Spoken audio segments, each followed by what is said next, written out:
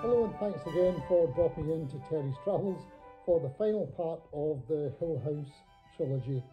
It's an interesting National Trust property in the town of Helensburgh in the west of Scotland. If you've looked at the previous videos, you'll have seen outside of the house which something strange has happened to, very odd. And the second one goes into that in more detail. And this is a final one which is purely the inside of the house and all the Rennie Mackintosh designed uh, materials inside. So I hope you enjoy it um, and give it a like and make a little comment or two as long as they're nice. Thanks very much for watching. Cheers. Don't forget to subscribe. Thanks very much.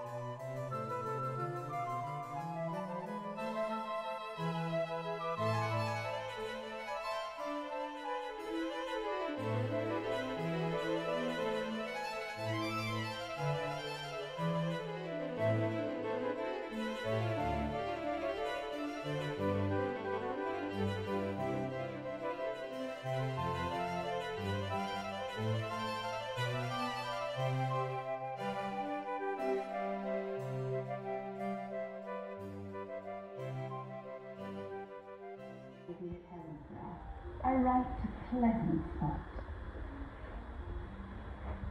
I put to Mackintosh such ideas as I had for my prospective dwelling. I told him that I disliked red tiled roofs in the west.